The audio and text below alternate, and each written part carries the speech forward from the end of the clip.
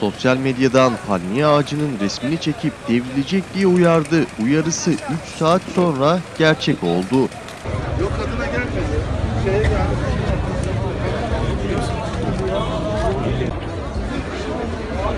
Haşim İşcan Mahallesi Atatürk Caddesi üzerinde saat 19.30 sıralarında cadde ortasında uzun zamandır eğik vaziyette olduğu öğrenilen 20 metrelik kurma ağacı bir anda bulunduğu yerden koparak bir kadın sürücünün kullandığı otomobilin motor kısmına düştü. Olayı gören çevredeki vatandaşlar ve diğer sürücüler direksiyon başında şoka giren kadın sürücüyü araç içerisinden çıkardı. Okan Kahramanlı palmiye ağacının devrileceğini saatler öncesinden sosyal medya hesabından paylaşmıştı. Büyük gürültü geldi. Bir baktık ağaç düşüyor. Önce yere düştü sekti. Oradan da geçen aracın birine. Yani araçtaki hanımefendiye koştuk, yardım ettik, müdahale ettik, çıkardık.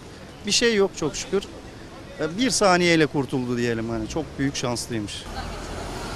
İhbar üzerine olay yerine gelen polis ekipleri yolu trafiğe kapatırken yine polis ve itfaiye ekipleri devrilen hurma ağacını keserek yol kenarına sürükledi. Arabasında maddi hasar oluşan kadın sürücü ise olayı yara almadan atlattı.